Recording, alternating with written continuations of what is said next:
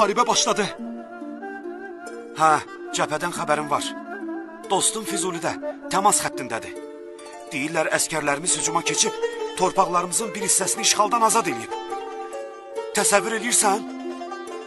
Samir, inan bir anın içində quş tək uçub Lələtəpəyə getmək, əskərlərimizə kömək eləmək istəyirəm.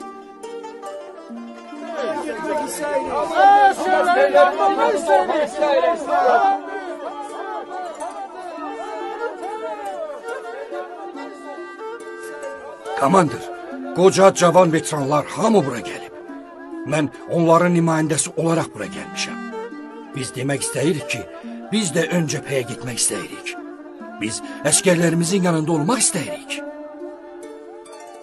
Bir qədər təmkinli olun.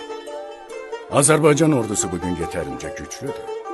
Onlar vətənimizi qoruyacaqlar. Onlar işğal olmuş torpaqlarımızı azad eləməyə çalışırlar.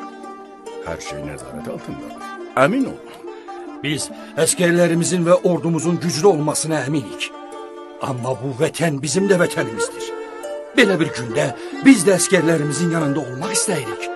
Biz düşmənlə vuruşmaq, başını daşa vurmaq istəyirik. Komandır, mən sənin qadanı alım. Bizə bir yol göstər.